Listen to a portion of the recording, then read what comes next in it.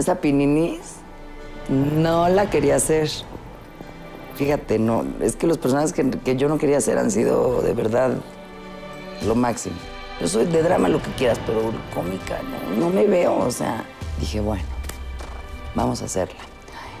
Donde no me salga la novela, donde no me salga el personaje, pero no, porque estoy muy bien cobijada nuevamente por directores, por los mismos actores. Yo leo la psicología y la sinopsis de la novela y hago un book y me imagino al personaje y hago un book y este me corto el pelo. No, no, no, ese fue un dramón. Nunca me había cortado el pelo, jamás en mi vida. Y lo más maravilloso es que siempre me han dado la libertad, los productores y la confianza de hacer el personaje como a mí, como yo lo veo.